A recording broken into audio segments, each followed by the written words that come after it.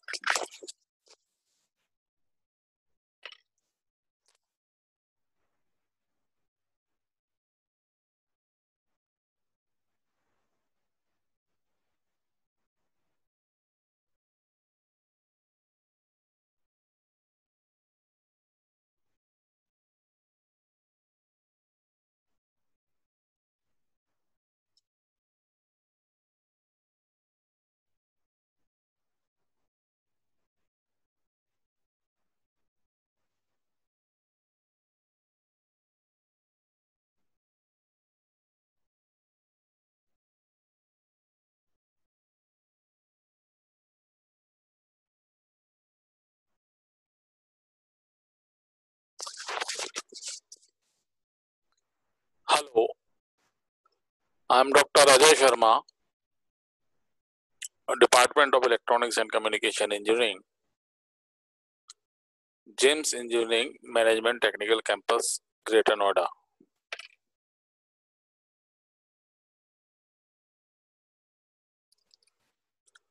The subject that I teach in this semester is optoelectronics and optical communication. This is the main subject for BTech 7 semester students of Electronics and Communication Engineering branch. And the topic that I discuss today in this lecture is optical detector and its properties.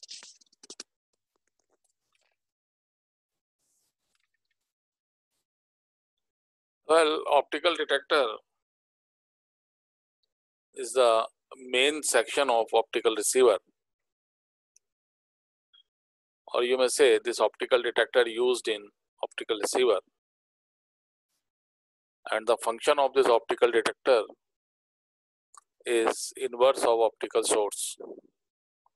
Means the function of this optical detector is to convert uh, optical signal into electrical signal. And the function of optical source is to convert electrical signal into optical signal right? So the optical detector actually the performance of this optical detector is the performance of optical receiver. Means the performance of optical receiver totally depends on performance of optical detector. So an optical detector is just like a transducer that converts an optical signal into its electrical signal. And this electrical signal, which is the output of the optical detector, is a equivalent electrical signal. Right? Means the variations of electrical signal at the output of the electric optical detector is depends upon the variation of the optical signal. So basically optical detector detect or sense the optical energy, optical power, optical signal at its input and give electrical signal at its output. And if you look at the picture, how this phenomena happens, the light is coming from outside right? And light is composed of photons. And each photon have energy hf right? So when there is an impact of photon from outside on the depletion region or the region where electron holes are combined when this HF energy is absorbed by this electron hole pair, which are bound together, then this energy is observed by this electron hole bonded pair. And if energy is of a photon is sufficient means the energy of photon which is equals to hf where h is the Planck's constant and f is the energy of the photon. If this energy hf is greater than Eg, where Eg is the band gap energy of the material that is used in the manufacturing of optical detector. So if this energy hf, which is the energy of photon, is greater than Eg, then electron hole bond are break and electron leave its position at valence band and come to a conduction band. This is only be possible when HF have sufficient energy. So all the energies of photons are absorbed by the bonded pair and if all the photons have sufficient energy means greater than greater than band gap energy then electrons are generated. And generation of electron is nothing but it's a current because current is due to free electrons right so one photon which have a sufficient energy produce one free electron. And electron when you have electron means you have a current. So in this way all the energy or the power of photon is converted into free electrons. So this is the concept behind the working of optical detector.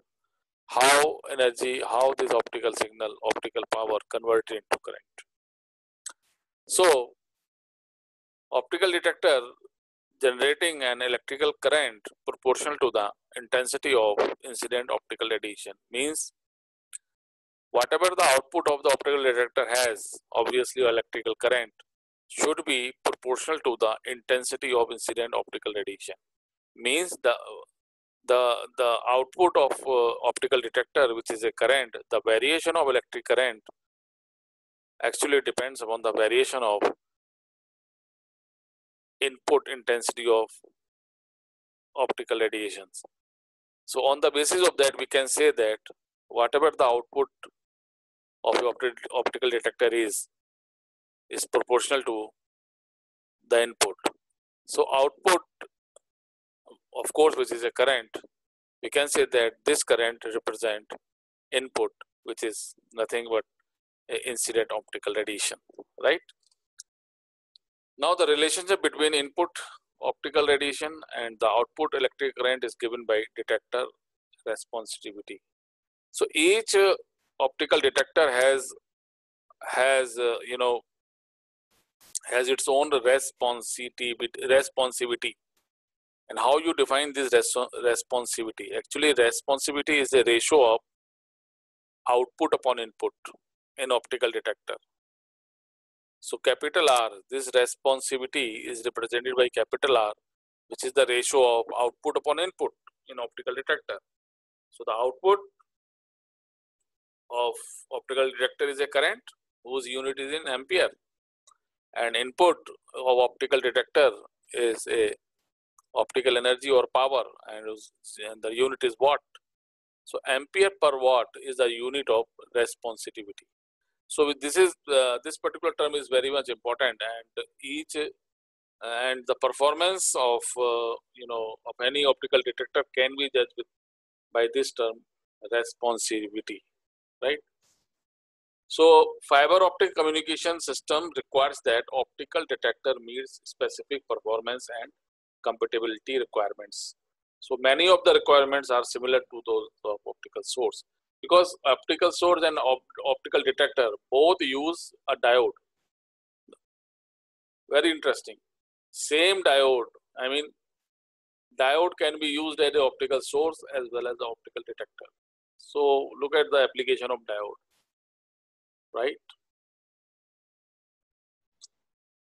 Uh, so in this picture if you focus on the picture on the diagram on this particular slide the radiation is coming from outside which are h mu h mu represent a photon energy so these are the photon having energy h mu if, if the frequency of all the photons are same means mu is same and h is a constant. So h mu. So each photon has its own h mu, right?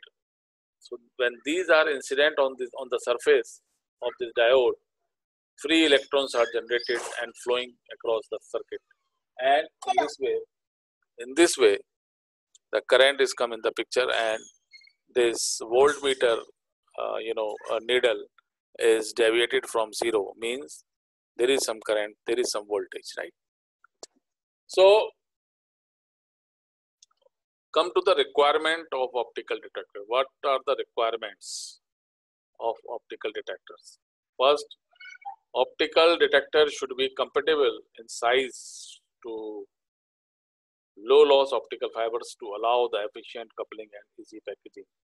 So optical detector should be compatible with the optical fiber uh, because the because whatever the energy that optical fiber have should be totally transferred to the optical detector so that the optical detector gives its output on the basis of input and input should be 100% and this is only be possible when your optical detector is compatible with the optical fiber. Second point is have a high sensitivity uh, at the operating wavelength of the optical source. So optical detector should be very much sensitive. How it depends. Uh, you know, many times the signal that reach at the receiver is very weak. So receiver should respond very weak signal also. So that is that is that that only be possible when the receiver has it high sensitivity. Have a sufficient short response time, sufficiently wide bandwidth to handle the system's data rate. Contribute low amount of noise to the system this is also very important because noise is one of the factors that creates a problem for us. It distorts the signal error and, and when noise mix in the signal then it's very difficult for the receiver to take to take a right decision right so so amount of noise should be low as possible maintain a stable operation in changing environment conditions such as temperature. This is also be very important factor because there is a sometimes there is a you know some some you know summer season there is a temperature reach to a 45 around 45 so detector uh, this particular temperature uh, can't affect uh, you know or should not affect the detector operation. So that should be also be taken in the mind so changing an environment should not affect the you know operation of the detector So optical detectors that meet many of these requirements uh, and are suitable for fiber optic system are semiconductor photodiodes. So these optical detectors are nothing but these are the photodiodes because basically optical detector based on diode and photons are coming from outside that have an impact on these diodes. So the name of this optical detector are photodiodes. So photodiode have the capability to give a current according to the photons that that is coming from outside having the energy h mu where h is Planck's constant and mu is the frequency of the of the photon right so h mu is the energy so the principal optical detectors used in fiber optic system includes semiconductor positive intrinsic negative yani pin photodiode so there are basically three types of photodiode ordinary photodiode Second is PIN photodiode, P-type uh, intrinsic N-type photodiode and avalanche photodiode. So these are the three photodiodes that are used in optical communication to convert uh, your optical energy into a current. So these are basically the three important, uh, you know, uh, optical detector and these are in our syllabus also as far as the syllabus of this particular university is concerned we have PIN diode and APD. APD. APD is very important because nowadays mostly APD are used because APD have high gain, right? So mostly uh, APDs are used. PIN diode, diode photodiode are also used as a switch, but avalanche photodiode have vast application.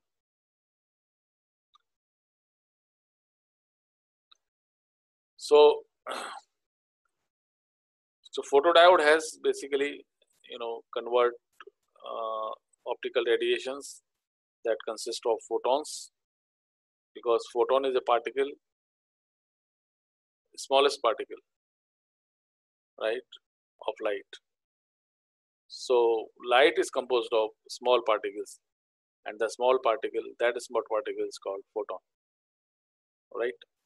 So photon coming from outside and there is impact of photon on you know on the structure of this diode then electrons then uh, you know then bond are break when bond is break electrons are free. Why bond are break? Because of the energy is your radiation energy converted into you know to take to take to transfer this energy to this bonded at, uh, electron hole pair. And by absorbing this energy electrons are free and move from valence band to conduction band. In that way free electrons are come in the picture and these free electrons creates a current. So this is the basic principle that involved in these all optical detectors. So thank you very much. That's all